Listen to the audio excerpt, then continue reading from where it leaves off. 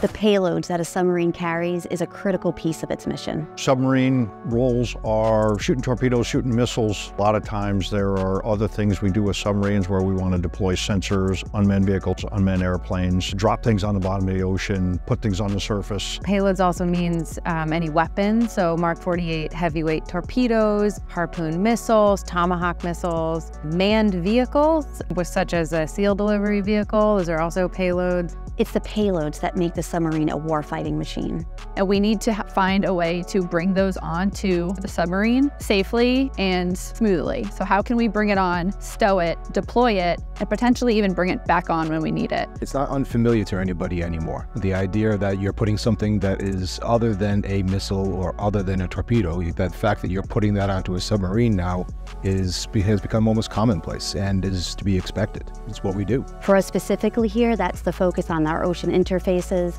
our launchers, our tubes, our platform HM&E, as well as the integration into the combat system. We have a variety of ocean interfaces on the submarine, um, different hatches, torpedo tubes, three inch launchers, six inch launchers, and much larger vertical tubes. So all of these tubes, hatches, launchers have to be designed, maintained, and they have to be safe. So that's one of the challenges with payload integration, and that's what this department really focuses on. And that's why we have this facility that has actual shipboard systems with each of these launchers. Our Launcher Complex Laboratory that we have here at Division Newport is a world-class national asset that maintains the system test capability that's not found anywhere else in the Navy's land-based facilities. From a payload side, we can then take payloads and put them in our facilities and test them. And the big difference here is when you're in a laboratory, you can tinker, you can play, you can rework. You can stand back and say, well, that didn't work, let's try this. On a submarine, you can't do that. Everything is extremely controlled and time is precious. And then your last step is, hey, now system is ready. Let me take it to the submarine and test it. And once everything works, you want to hand that system to the fleet. And that's when you realize I'm giving the system to an 18 year old.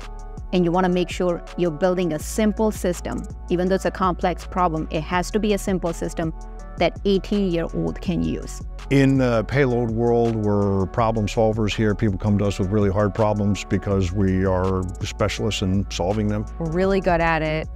We know the systems. We work across the board with the, the payload developers, the shipbuilders, the warfighters, the maintainers.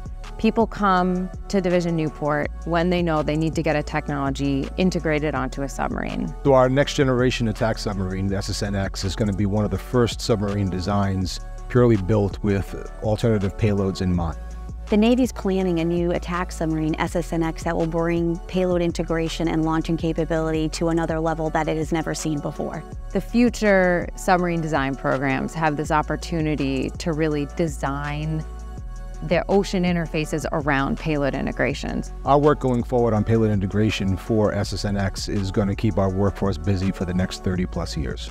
So as we look into the future, we are applying our system expertise and our facilities and everything we've learned to ensure we're bringing those capabilities and new technologies to meet the future warfighter demands.